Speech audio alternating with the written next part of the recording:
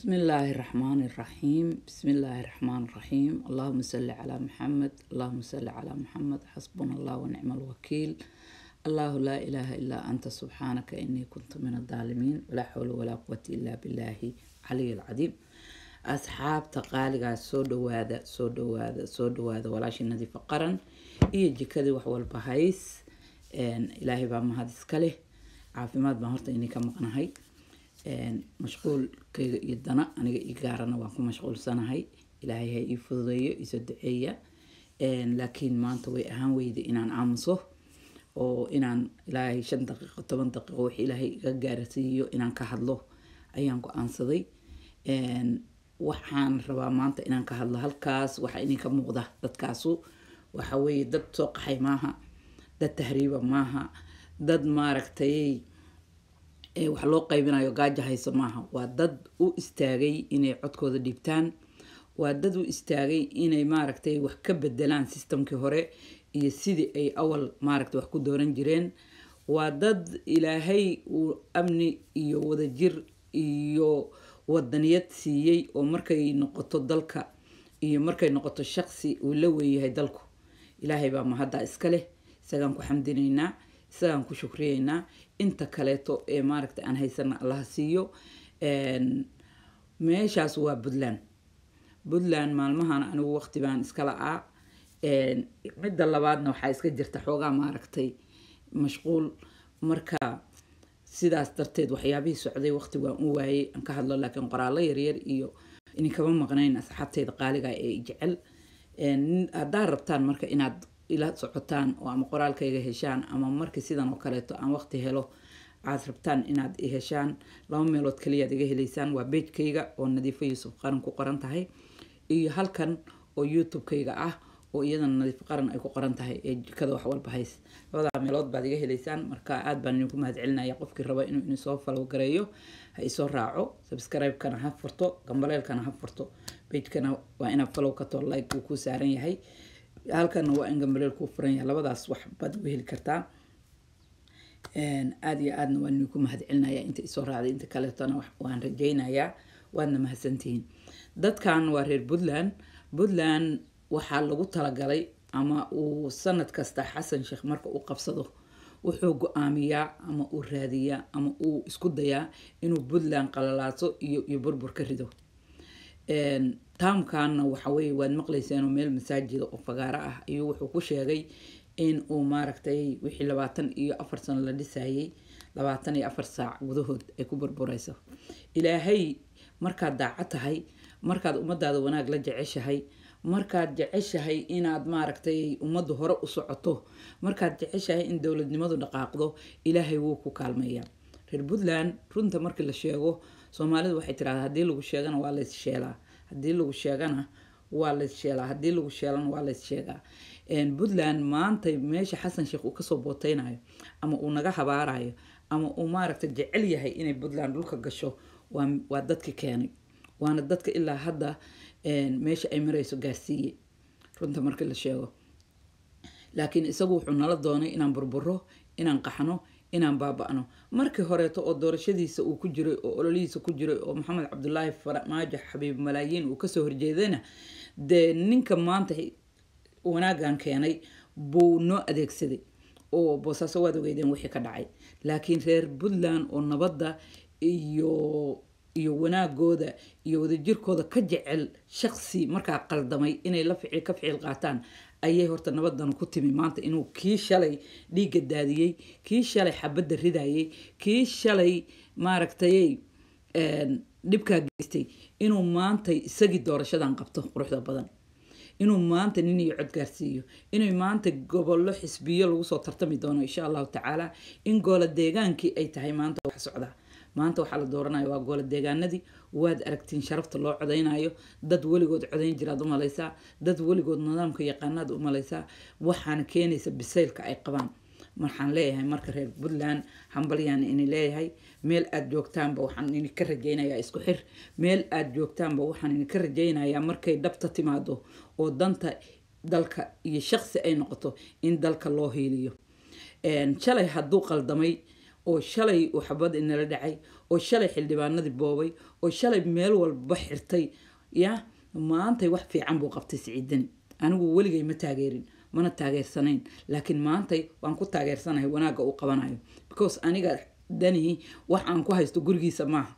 Wax aan ku haysto kuwo waxaa jira cuqdad qaba oo maaragtay jiran oo kuwa maantay shisheeyaha la shaqaysanaya ama puntland xabadda ka ridaya iyo kuwo lamida ee ah oo u arka haddii la yiraahdo war waxaan waa qaldan yahay ama madaxweynaha la dhaliilo in qabiil loo jeedo oo reer puntland kala saarsaara oo cuqdada isagoo iska jiraan. Laakiin inta fiyow iyo dadka fiyow iyo inta badan shacabku ma aha. Adeer annagu siciidani waxaan ku haysano waxa weeye waxa qaldan sax wixii qaldanaa ee lagu sheegay ama waxa qaldane la arkaayo ama wax qaldane lagu tilmaamo siciidow sax weeye laakiin nina gurigiisa kuma haysto.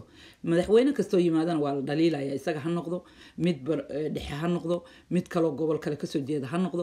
Waxa lagu dhaliilayana waxa waa wax ummadda ka dhexeeya. Anigu waxaan aaminsanahay meel walba in codkayga aan saa uga dhiiban karo. Hadda dadkan codka dhiibanaya qabiil kastaa ku jira degmo gobol kasta oo soomaaliya ka mida dad ka soo jeeda oo labaatan sano deganaabaa ku jira oo ka codaynaya maanta. Aniguna saasoo kaleetaan gobol kasta inaan uga codaynayo oo aan leeyahay anoo aaminsana.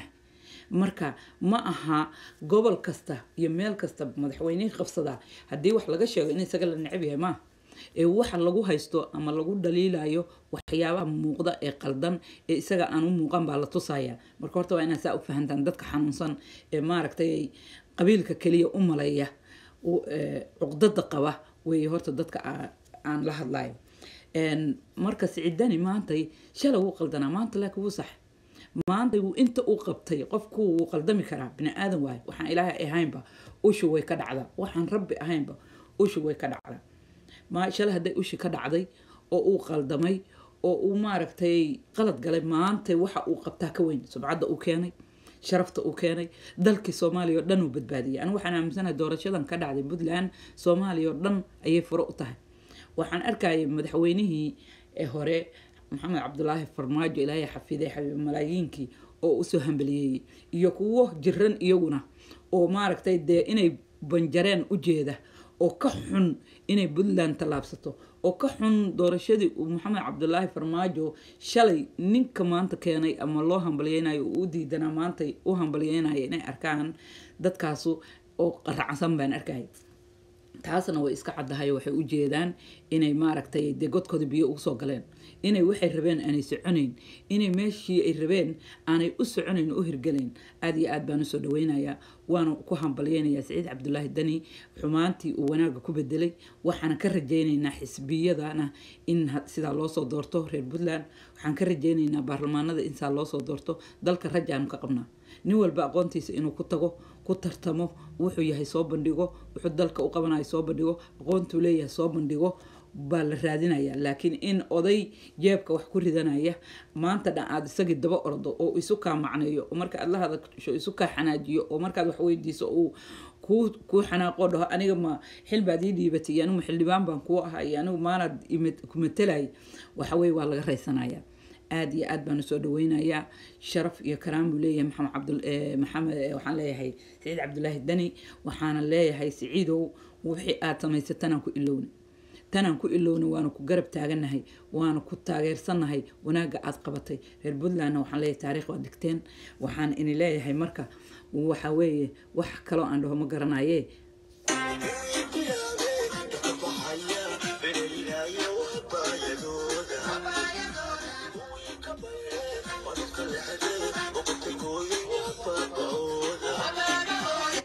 kuwii ku tala jiray inay burburto puntland kuwii ku tala jiray inay iyaguna intay lacag ku soo qaataan puntland burburiyaan oo maaragtay puntland dhulka geliyaan iyagana waa baaba-ooda.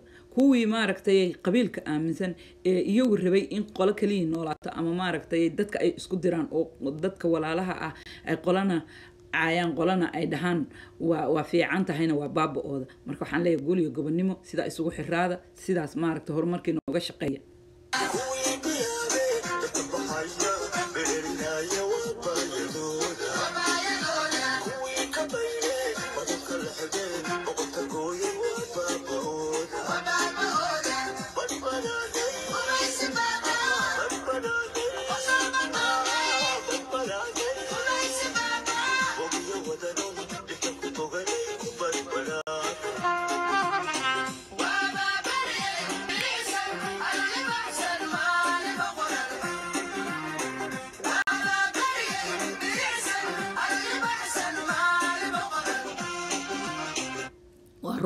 waabaa beriyey bilicsan arooryo baxsan maalin boqoran.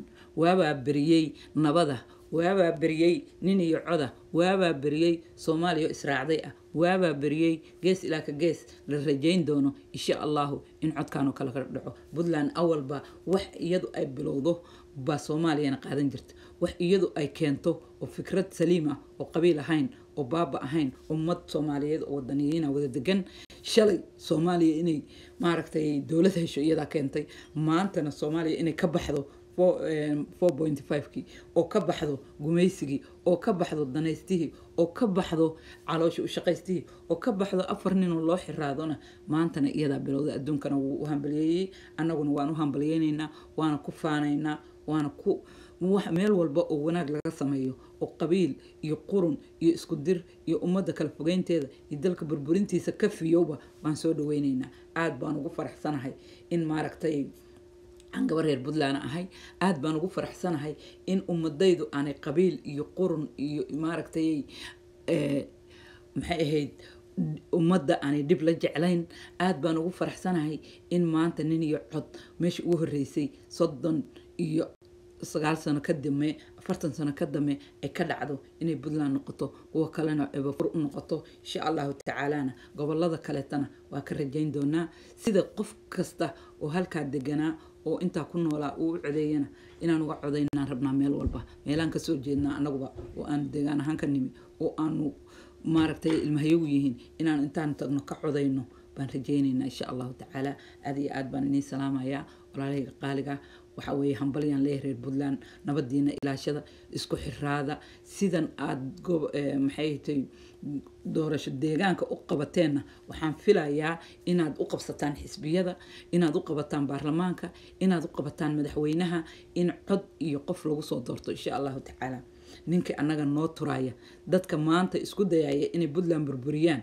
Wax kale ma raadina wanaagaasay diidanaayan shisheeye u shaqaynayaan.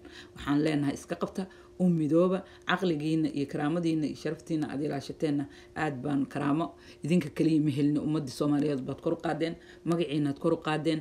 I proud of you guys aada iyo aada baan idinku faraxsanahay hambalyaan leeyahay meelaad joogtaana midnimada ogaada. Aynu iska qabanno kuwa isku keendira aynu iska qabanno kuwa ina kala saara. Aynu iska qabanno kuwa u malaya. Haddaynu madaxdeena saxano inaynu maaragtay si kale u necebnahay kuwaas waxaweeye ma aha waa kuwa caqliga iyo iyo maskaxdaba ka hooseeya. Meel kastana waa joogaan. Hambalyaan leeyahay reer puntland.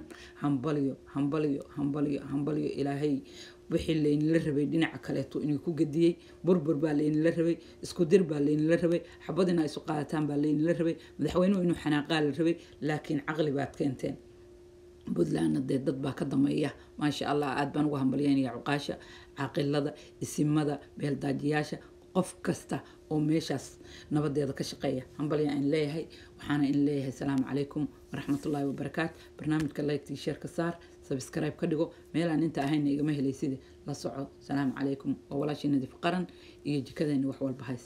Maanta hambalyadaasaan diraya asalaamu calaykum